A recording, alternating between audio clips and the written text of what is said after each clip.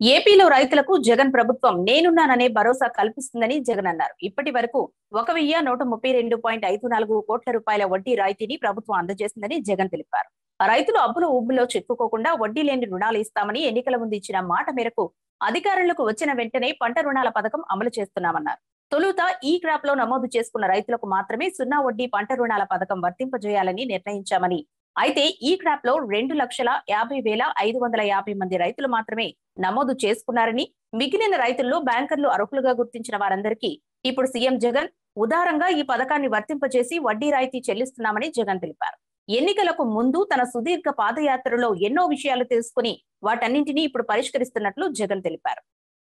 వరకు రాష్ట్ర వ్యాప్తంగా వైఎస్ఆర్ సున్నా వడ్డీ పథకం కింద లక్ష వరకు పంట రుణాలు సకాలంలో చెల్లించిన అరవై ఒక్క లక్ష ఇరవై రెండు వేల ఐదు వందల ఎనభై ఎనిమిది మంది రైతన్నలకు ఇప్పటికే పదకొండు వందల ముప్పై రెండు కోట్ల రూపాయలు గత ప్రభుత్వం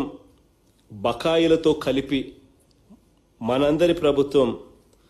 రైతుల ఖాతాల్లో నేరుగా జమ చేశామని చెప్పి కూడా ఈ సందర్భంగా సగర్వంగా కూడా తెలియజేస్తా ఉన్నాను.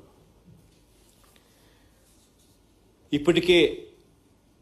ఏదైతే ఈ పదకొండు వందల ముప్పై రెండు కోట్ల రూపాయలు ఏదైతే ఇచ్చామో దీనికి ఈ నూట ముప్పై కోట్ల రూపాయలు కూడా కలుపుకుంటే దాదాపుగా దగ్గర దగ్గర పదమూడు వందల కోట్ల రూపాయలు ఈ వైఎస్ఆర్ సున్నా వడ్డీ పథకం పథకానికి మన రాష్ట్ర ప్రభుత్వం ఇచ్చినట్లు అవుతుంది రైతన్న నష్టాలు కారణాలు ఏమిటో